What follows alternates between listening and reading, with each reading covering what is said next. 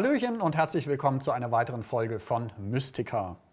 Heute geht es um ein Thema, das uns alle irgendwann mal betrifft, nämlich Gesundheit, Krankheit, Heilung.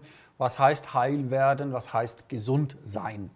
Und dazu spreche ich natürlich auch heute mit einem Experten, nämlich Tom Riedsdorf. Hallo. Hallo Thomas, grüß dich. Ja, Tom, du hast ein Zentrum in Rattenkirchen und du bildest auch aus zum ganzheitlichen Heiler. Was heißt denn das jetzt, ein ganzheitlicher Heiler zu sein? Ja, ganzheitlicher Heiler heißt vor allem aus heilerischer Sicht, dass wir den Körper nicht vernachlässigen, was ja bei sehr, sehr vielen Heiltechniken der Fall ist, dass mhm. so äh, die Seele geheilt wird, das Geistige geheilt wird, aber der Körper eben nicht. Also ein bisschen energetisch, Hände auflegen, kann auch durchaus eine Wirkung haben, genau, natürlich. Ja, und aber, wir wirklich mh. sagen, und ich denke, wir sind die einzigen im deutschsprachigen Raum, die es zur Pflicht haben, Anatomie in der Ausbildung mit dabei zu mhm, haben. Mhm. Ähm, für uns ist sehr, sehr wichtig, mit der Medizin auch zu arbeiten und nicht gegen die Medizin. Wir sagen auch nicht, die Medizin ist schlecht oder äh, macht irgendwas nicht so gut, wie es wir machen. Die Medizin ist notwendig und unser Wunsch ist, dieses Miteinander, Heilen und Medizin, wie es in England ja schon seit 25 Jahren äh, mit dazugehört. Mhm. Ne? Gibt es da schon Ärzte, die da mit euch kooperieren? Ähm, ja, also ich arbeite mit unterschiedlichen Ärzten zusammen in allen Fachrichtungen von ähm, Arzt für Allgemeinmedizin bis, bis zum Zahnarzt. Mhm. Hier in München übrigens eine ganz tolle Zahnärztin, mhm. äh, mit der ich sehr, sehr eng auch zusammenarbeite. Und äh, würde mir wünschen, mit Krankenhäusern zu arbeiten. Durfte immer mal wieder in Krankenhäusern arbeiten, auch in der Onkologie, aber immer versteckt. Ja? Mhm. Also immer so, ja, das ist interessant, weil ich eh einen Klienten begleitet habe und dann auch hier in die Abteilung nochmal mit rein und bekomme da schon von höchster Stelle, also es sind wirklich die, die Chefärzte oder die äh, stellvertretenden äh, Chefärzte, die dann sehr, sehr offen sind und auch mit uns sprechen, aber nach außen hin nichts nach außen hingeben können. Ne? Mhm. Schon interessant. Ich habe neulich ein Interview gemacht mit Horst Krone, was einer der mhm. bekanntesten Geistheiler ist. Und er sagt auch, er kennt unglaublich viele Ärzte, die sozusagen ein bisschen versteckt durchaus mit Heilern zusammenarbeiten oder sogar selbst diese Methoden anwenden. Ja, ja es heißt ja, es gibt äh, tausend Krankheiten, aber nur eine Gesundheit. Wann ist denn der Mensch gesund? Bin ich gesund, wenn ich mal nicht mehr erkältet bin? Oder? Gesund ist der Mensch vor allen Dingen, wenn er in sich gesund ist. Und ich denke mal, das ist auch schon die Schwierigkeit des ganzen äh, Themas Gesundsein, dass die wenigsten überhaupt wissen, was ist in mir und wo ist die Ruhe in mir, also wo ist die Harmonie in mir. Mhm. Und wenn wir die gefunden haben, dann sind wir auch im Außen gesund. Mhm. Und es gilt wirklich bei der Gesundheit der Spruch, wie innen so außen. Mhm. Also Ruhe sicher nicht gemeint mit Apathie, ne, sondern eine, eine Bewusstheit, bewusste ja, Ruhe. Bewusstheit, ja. In mir ein ruhender Pol, der wirklich auch im Jetzt ist, der mhm. auch mit sich selbst im Reinen ist. Und da haben wir aus meiner Sicht die meisten Schwierigkeiten. Mhm weil ich würde mal sagen, mehr als 90 Prozent der Klienten, die zu mir kommen, mit sich selbst in irgendeiner Form in Zaudern sind oder zumindest von seitens des Elternhauses, des Umfelds so geprägt sind, dass äh, der Selbstwert auf der einen oder anderen Ecke ein bisschen wackelig ist. Mhm. Ja gut, ne, jetzt hat natürlich trotzdem jeder Mensch auch manchmal schwere Themen, Lebensthemen, Probleme, alte Geschichten. Die sind ja auch nicht von heute auf morgen zu lösen. Äh, sicherlich sind sie von heute auf morgen nicht zu lösen. Die Frage ist, warum hat er sie? Mhm. Die hat er ja, um zu wachsen, um was zu erkennen, mhm. sonst würde er sie nicht bekommen. Ne? Und ähm, ich für mich mache wirklich die Erfahrung bei den Menschen, die sehr bewusst in ihrem Leben leben und auch die Verantwortung äh, für ihr Leben übernommen haben mhm. und ihre Schritte im Leben ganz bewusst lenken, in Achtsamkeit für sich selbst und auch für ihre Umwelt, äh, dass die so starken Resonanzwellen gar nicht mehr ausgesetzt sind. Mhm. Die großen Knüppel zwischen die Beine äh, kommen da gar nicht mehr. Das sind das kleine Geschichten und die kommen sehr schnell und die Leute wissen auch, warum das sie kommen. Mhm. Gut, aber trotzdem gibt es natürlich vereinzelt Menschen, die sind sehr krank, ruhen aber trotzdem in sich, haben sich mhm. nicht, ich würde jetzt nicht sagen damit abgefunden, mhm. aber es ist sozusagen, sie haben da einen Weg gefunden. Machen die irgendwas falsch? Weil ich meine, es ist ja sicher nicht immer der Fall, dass es geistige Ursachen gibt, weswegen der Körper krank ist. Oder mhm. schon? Wie würdest du das sagen? Also ich sage wirklich, ähm, es ist immer die Seele mit daran beteiligt, bei jedem Unfall, bei jeder Krankheit.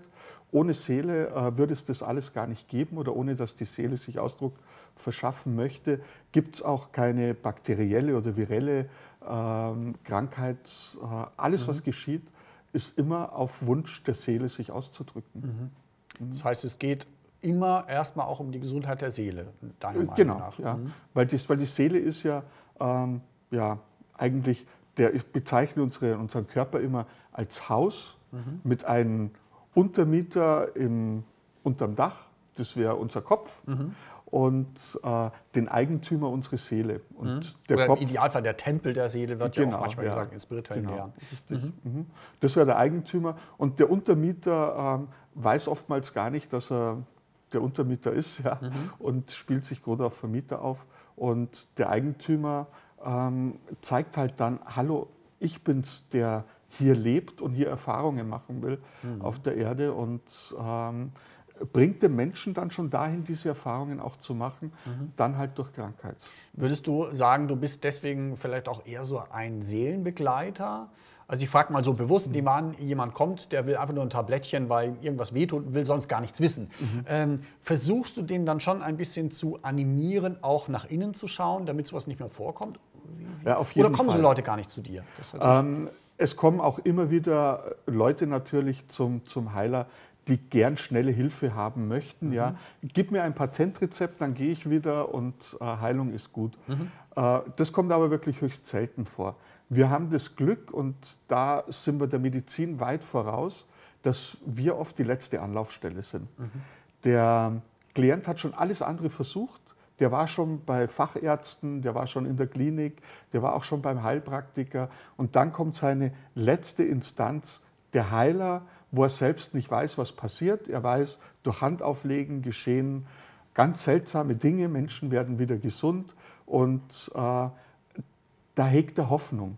Wenn der Heiler sagt, du bekommst Hausaufgaben auf und machst das und das für dich zu Hause, dann tun das die Leute. Beim Arzt würden sie es nicht tun. Mhm. Ja, deswegen haben wir da natürlich auch ein Plus, weil wir die letzte Instanz ist. Nach dem Heiler gibt es meistens mhm. nichts mehr, außer vielleicht noch mal einen anderen Heiler. Also und da kommen sozusagen auch sogenannt austherapierte Menschen. Ja, ja, hauptsächlich euch. austherapierte. Ah, ja. Weil man natürlich sagen muss, in vielen, vielen Fällen ist Schulmedizin genau das Richtige, ja. aber in manchen anderen Fällen genau. halt braucht es noch was anderes. Ja, ja. Und es geht halt um das Erkennen. Ähm, der Heiler hat zudem ja den Vorteil, er hat mehr Zeit wie der Arzt. Wir können anders arbeiten. Ähm, wir nehmen uns auch die Zeit, wir hören hin, was der Klient äh, Böse Frage, kostet der dann auch mehr Geld, weil er mehr Zeit hat? Der Heiler an sich? Ja, ja, sicher. Ja. Kostet natürlich auch Geld, also mhm. ich muss selbst bezahlen. Klar. Und auch das ist ein ganz interessanter Aspekt. Äh, dass du den sagst, weil sowas hatte ich auch ein paar Mal schon, dass die Leute zum Heiler gegangen sind, also jetzt nicht nur zu mir, mhm. um wirklich auch Geld zu bezahlen, um dafür so Art, ich tue jetzt separat was für meine Gesundheit. Mhm. Ja, wirklich so das im Hintergrund, jetzt habe ich was für mich getan, jetzt mhm. muss es doch helfen. Mhm. Na, weniger dieser Aspekt, ich nehme was an, ja, okay, was also mir der Heiler mehr das Gefühl, hat. jetzt mache ich es eigenverantwortlich ja, ja. Genau, und dadurch hat es vielleicht auch mehr Chancen. Mhm. Interessant. Wunderbar. Vielleicht noch ein Wort, äh, Schulmedizin, Geistheilung, siehst du da eine Entwicklung? Ich meine, der Wunsch ist klar, dass da immer mehr Zusammenarbeit geschieht. Gibt es da große Widerstände? Wie erlebst du das so? Mm, also ich persönlich habe erlebt weniger Widerstände, weil ich sehr, sehr offen auf die Medizin oder auf Mediziner direkt zugehe. Mhm. Und äh, so wie ich einen Klienten habe, der wirklich auch in äh, medizinischer Behandlung ist, äh, setze ich mich in der Regel immer mit dem Arzt oder mit dem behandelten Heilpraktiker in Verbindung und frage, wie wir unsere ähm, Arbeit angleichen können, ja, wie wir das gemeinsam handeln können und habe es bis auf einmal, wo wirklich eine Ärztin mir die Tür vor der Nase zugeschmissen hat, im verbalen Sinn jetzt, äh, nie erlebt, dass irgendein Arzt gesagt hätte, äh, nee, interessiert mich nicht. Mhm. Ja.